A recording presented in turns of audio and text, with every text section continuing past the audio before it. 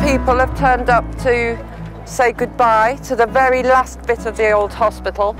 And uh, I'd like to thank you for coming. I don't know about you, I feel full of mixed emotions really. I'm so happy to see the big shiny new thing spreading in this direction. But it is the end of an era and for many people who've worked in this old hospital, it's the end of a very happy time of their lives. And uh, I've certainly had many happy hours in that office just there. I think the reason particularly we wanted to stop and pause at this moment is so that we don't forget our history because most of our conversation now is about the future and the new hospital and how wonderful things will be.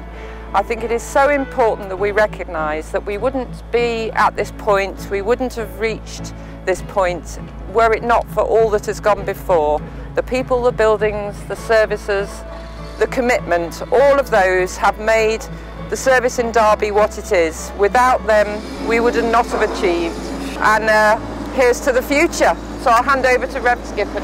I'd like to just simply say that this is a, a moment in history when the past and the present and the future all come to one in this event.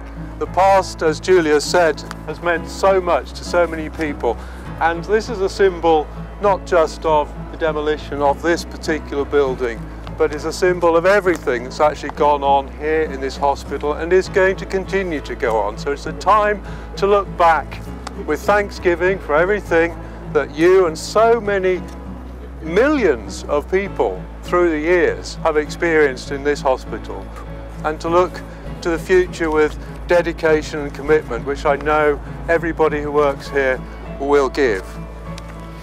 Right, just one final bit then. They didn't trust me to go anywhere near the building or the machinery, which in my opinion was extremely wise, but I do get to do the sort of big wave that says go for it. So I think we'll do it all together. One, two, three, and a big wave, okay? One, two, three, go!